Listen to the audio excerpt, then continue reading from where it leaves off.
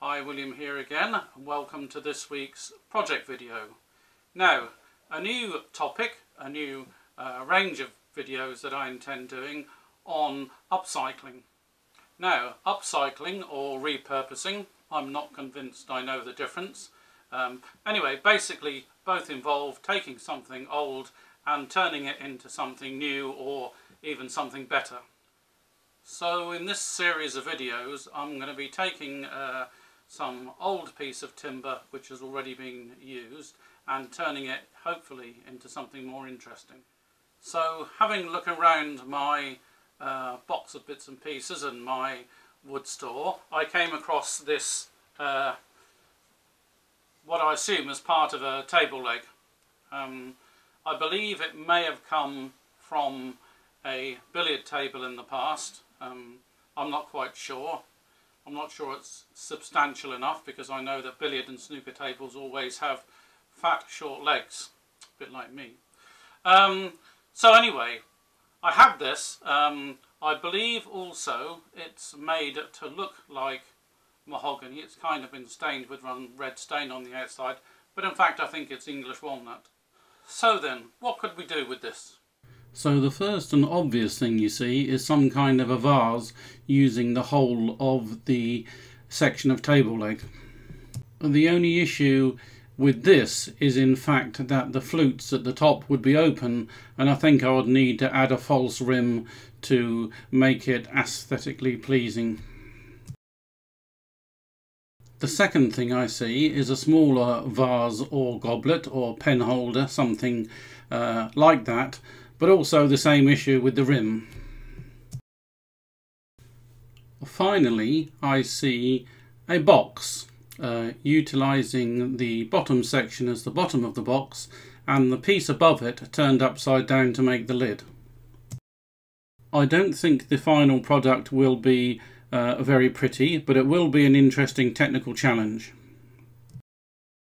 So the first task then is to find the centres of either end and get it mounted on the lathe. Now I'm not too worried about 100% accuracy at this stage because I'm going to have to remount it after I've uh, cut it into three sections.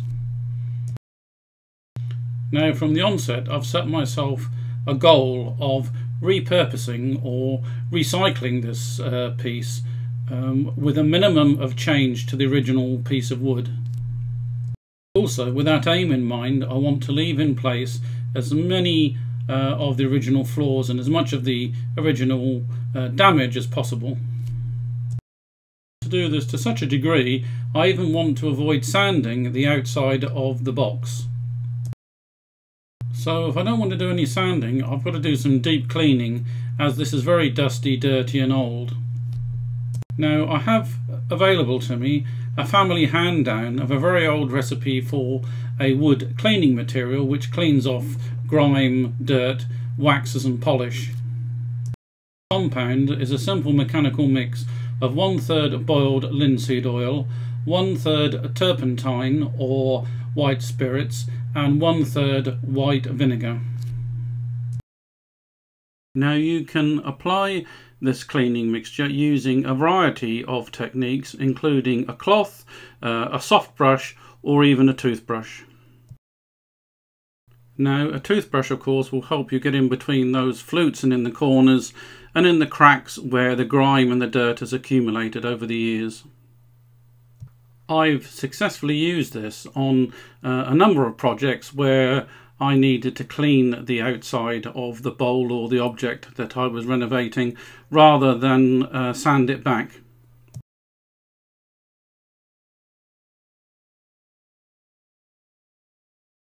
When you finish the cleaning process, you do need to give it a wipe down with white spirit or turpentine to clean off all the residue.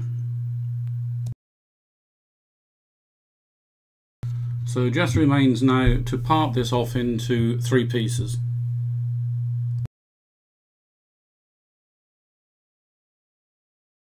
Now I intend to remount these pieces using a glue block so I have to make sure the ends are nice and smooth. Now I've used some 30 minute epoxy on the glue block to um, get this as accurately mounted as practicable. Okay, I'm going to start off the excavation of the box using a 30mm Forstner bit to make a pilot hole all the way to the bottom. I'm going to do as much of the excavation as possible using the uh, 3 8 bowl gouge um, but eventually when I run out of space I will revert to my uh, Simon Hope 6mm mini hollowing tool.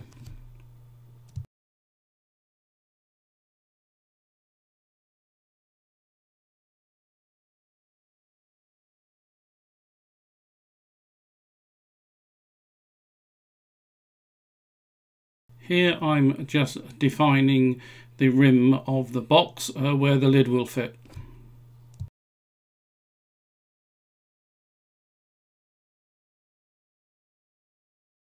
So after sanding back to 400 I'm going to use some intrinsic colour, uh, burnt orange as the base colour uh, as a first stage to try and match the colour of the outside.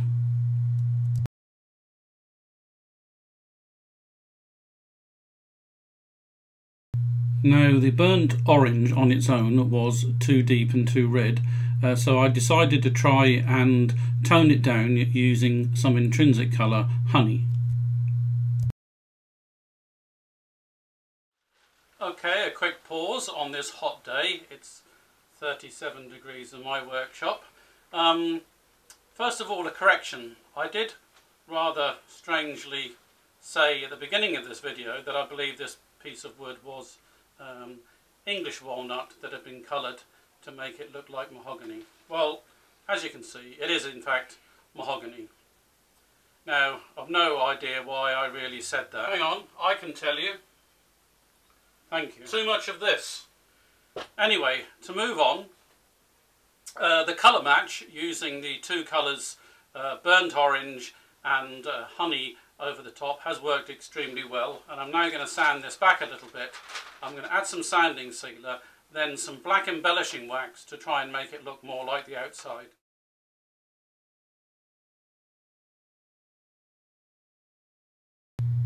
So having completed that process, uh, it's now time to part it off and uh, to turn my attention to the lid.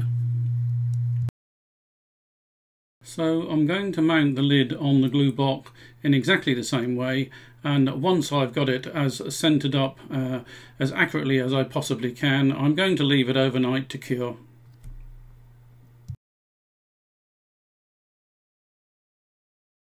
Having let the epoxy resin cure overnight I just now need to hollow the inside of the lid. I'll do most of this with my uh, 3 eighths bowl gouge, but I'll finish it off with a one inch scraper.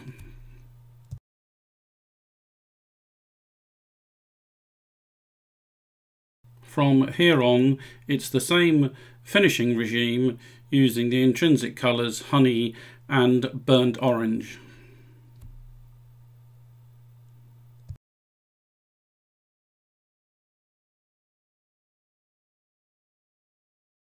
Now the colour match is not too bad at all, although the outside of the piece is quite damaged due to wear and tear over the years, um, but that naturally wouldn't occur on the inside of the box.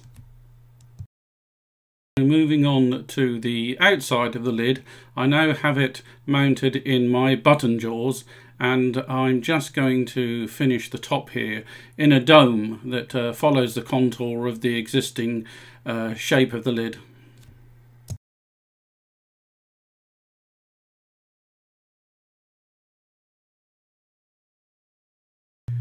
Now I finished off the top of the lid in exactly the same way as I finished the other two parts, uh, except that off camera I've given the dome a good bashing around with a Jacobs chuck key in an attempt to make the wear, wear and tear uh, look the same.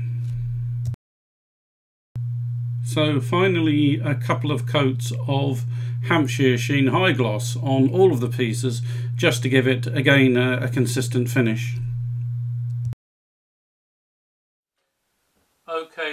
Have it then, the repurposed or upcycled box.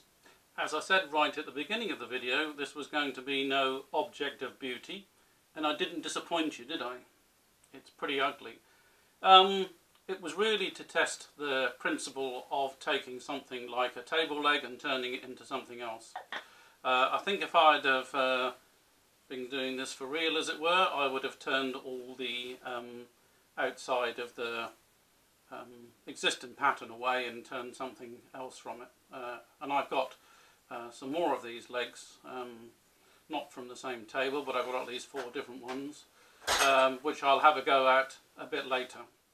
Now the biggest problem I had with this was mounting it on the lathe so uh, it didn't uh, wobble about so it was perfectly true. But um, I didn't test till afterwards actually and discover that actually it's not completely round. That didn't help. I resorted to glue blocks as you saw um, to do this and it wasn't a bad method of doing it but I'm sure there's an engineer out there who can uh, tell me a better way of doing that the use of the uh, intrinsic colours to try and get a match worked out quite well and I'm sure if I'd have spent a little bit more time I could have um, perfected the match a little better. Anyway, I hope you enjoyed watching this and it's inspired you to repurpose or upcycle some odd bits of wood you have lying around. But please make something prettier than this. Anyway, thank you for joining me and I hope to see you again next week.